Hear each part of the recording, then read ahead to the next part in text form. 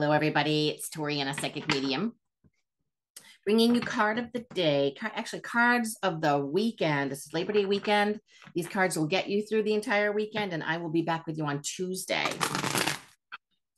Uh, using Rider Waite and shuffling these up a little bit more. Um, the color of the day is blue, which is psychic awareness. And uh, Yvonne Giovinco will be with me at least once next week. Full card of the day. So I'm excited about that. Uh, what else did I want to tell you? Not exactly of the date, but we did have a, or we are going to have a new moon. Perfect time to make your wishes. Um, just make that list and hold on to it. So, all right, we are going to pull your card today for the late for Labor Day weekend. It, it is oh interesting.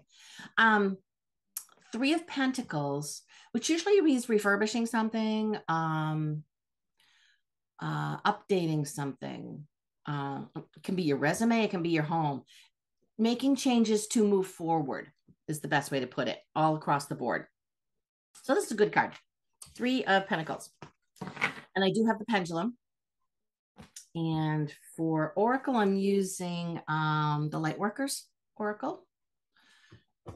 And we'll see if we can't pull a helper or something to go with or pair with Three Pentacles.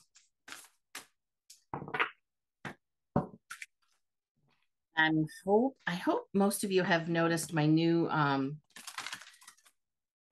a new avenue of communicating with spirit, if you will. It's called Bullet Points. It's on my YouTube channel and TikTok. It's Bullet Points is one quick card for the zodiac. And when you check your sun, don't forget to check your moon and rising as well. And if you don't know what those are, um, there is a chart you can look up.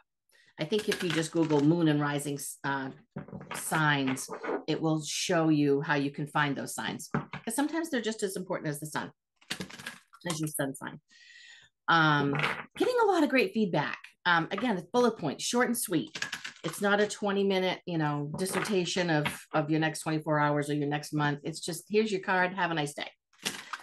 So might want to check those out. They're also on my Facebook page as well. All right, your Oracle card is Wisdom of the Divine Feminine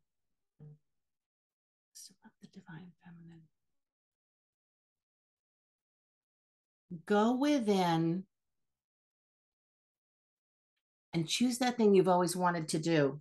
And it does pair well with with the um, the 3 of pentacles. Now, okay, there okay, thank you. Now is the time. Now is the time. All right, everyone, those are your cards for Labor Day weekend.